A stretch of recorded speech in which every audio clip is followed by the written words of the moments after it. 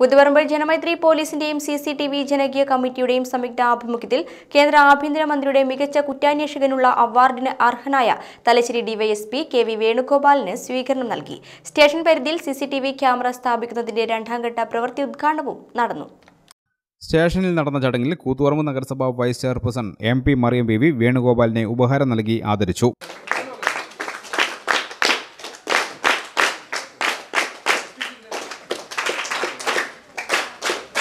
C C T V camera സ്ഥാപിക്കുന്നതിന്റെ രണ്ടാംഘട്ട പ്രവൃത്തി ഉദ്ഘാടനം കെ വി വേണുഗോപാൽ നിർവഹിച്ചു.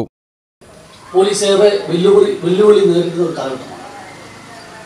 പഴയ കാലഘട്ടത്തിലെ പോലെ പോലീസ് കുറ്റകൃത്യം തെളിയിക്കാൻ മൂന്നാം മുറ പോലുള്ള നടപടികൾ സ്വീകരിക്കാൻ പറ്റാത്ത ഒരു സാഹചര്യം ഇന്നുണ്ട്. നമുക്ക് നമ്മുടെയൊക്കെ നാട്ടിൽ നിരവധി കുറ്റകൃത്യങ്ങൾ നടക്കാറുണ്ട്. കൊലപാതകം ഉണ്ടാകാറുണ്ട് പിടിച്ചുപറി ഉണ്ടാകാറുണ്ട്. മറ്റ് സാമൂഹ്യ വിരുദ്ധ ശക്തികളൊക്കെ ഒരുപാട് കുറ്റകൃത്യങ്ങൾ ചെയ്യാറുണ്ട്. പലപ്പോഴും പോലീസ് ഇത്തരം കുറ്റകൃത്യങ്ങൾ ചെയ്യുമ്പോൾ അറിഞ്ഞോ അറിയാതെയോ മൂന്നാം മുറ പോലുള്ള നടപടികൾ മുമ്പ് സ്വീകരിച്ചിട്ടുണ്ടായിരുന്നു എന്നുള്ളതാണ് പല കേസുകളും തെളിയിക്കാൻ പണ്ടുള്ള ആളുകളൊക്കെ സ്വീകരിച്ചൊരു മാർഗം. എന്നാൽ വർത്തമാനകാലത്ത് മൂന്നാം മുറ എന്ന ആ പേര് തന്നെ സംഭവം വെറുക്കപ്പെടുന്ന ഒരു നിലയിലേക്ക് മാറിയിരിക്കുന്നു.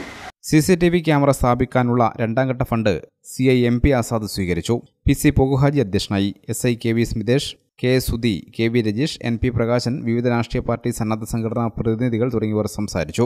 രണ്ടാം ഘട്ടത്തിൽ പൂക്കോട് പാറാൽ വേങ്ങാട് അഞ്ചരക്കണ്ടി കിണവക്കൽ നീർവേലി വട്ടപ്പാറ തുടങ്ങിയ സ്ഥലങ്ങളിലാണ് ക്യാമറ സ്ഥാപിക്കുന്നത്. ഇതിൽ മൂന്നിടങ്ങളിൽ നമ്പർ ക്യാച്ചിംഗ് ക്യാമറ സ്ഥാപിക്കും. ഒന്നാം ഘട്ടത്തിൽ കൂത്തുപറമ്പ് ടൗണിൽ ഉൾപ്പെടെ മുപ്പത്തിരണ്ട് ക്യാമറകൾ സ്ഥാപിച്ചിരുന്നു. മൂന്ന് ഘട്ടങ്ങളിലായി അറുപതിലധികം ക്യാമറ സ്ഥാപിക്കാനാണ് തീരുമാനിച്ചിട്ടുള്ളത്. ഗ്രാമിക ന്യൂസ് കൂത്തുപറമ്പ്. കൂടുതൽ വാർത്തകളും വിശേഷങ്ങളും അറിയാൻ ഞങ്ങളുടെ ചാനൽ സബ്സ്ക്രൈബ് ചെയ്യൂ. നോട്ടിഫിക്കേഷനായി ബെൽ ഐക്കൺ ക്ലിക്ക് ചെയ്യുക.